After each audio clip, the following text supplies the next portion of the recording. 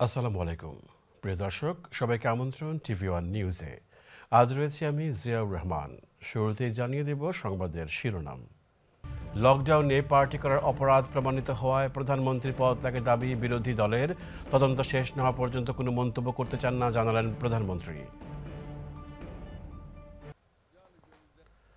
Lockdown চলাকালে Downing স্ট্রিটে party করার অপরাধ প্রমাণিত হওয়ায় বরিস জনসনকে পদত্যাগের দাবি জানিয়েছেন লেবার নেতা sir Keir Starmer. House of কমন্সে প্রধানমন্ত্রীর প্রশ্নোত্তর পর্বে তিনি এ দাবি জানান।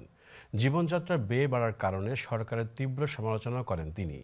জবাবে প্রধানমন্ত্রী জানান, তদন্ত শেষ না হওয়া পর্যন্ত এ বিষয়ে তিনি কোনো মন্তব্য করতে চান না। আবু তাহের মুস্তাকিমের আরেকটি রিপোর্ট। লকডাউনের সময় ডাউনিং স্ট্রিটে পার্টি করা নিয়ে বিতর্ক খানিকটা পুরনো।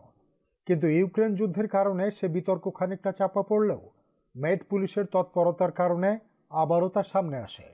সেসব পার্টিতে যারা উপস্থিত ছিলেন তাদের শখানেক মানুষকে প্রশ্নপত্র পাঠিয়েছিল পুলিশ। উত্তর পাবার পর তাদের অন্তত বিশ জনকে জরিমানা করা হয়। সে খবরের পর কমসের প্রথম অধিবেশনকে মোটেই হাতছাড়া করেননি বিরোধী নেতা স্যার স্টারমার।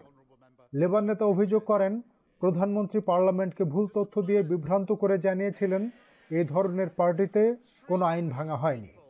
এখন পুলিশ অপরাধীদের জরিমানা করছে। প্রধানমন্ত্রী অপরাধের বিস্তার ঘটাচ্ছেন অভিযোগ করে তার পদত্যাগের দাবি জানান Starmer. He told the House no rules were broken in Downing Street during lockdown. The police have now concluded there was widespread criminality. জবাবে প্রধানমন্ত্রী বলেন বিষয়টি নিয়ে এখনও তদন্ত করছে পুলিশ তাই শেষ কথা বলার সময় এখনও আসে we do, we do at least expect some consistency from uh, this, this human weather vane. It, it, was, it was only a week or so ago where he was saying that I, I shouldn't resign. এছাড়া জীবনযাত্রার ব্যয় gas বিদ্যুতের দাম বাড়ায় জনজীবনের ভোগান্তি নিয়ে উত্তপ্ত হয়ে ওঠে কমন্স কার্যক্রম চালাতে সক্রিয় হতে হয় স্পিকারকে এ সময় সরকারের নেওয়া বিভিন্ন পদক্ষেপ তুলে ধরেন প্রধানমন্ত্রী। পরে এ বিষয়ে পার্লামেন্টারি কমিটির এক শুনানির মুখোমুখি হন প্রধানমন্ত্রী।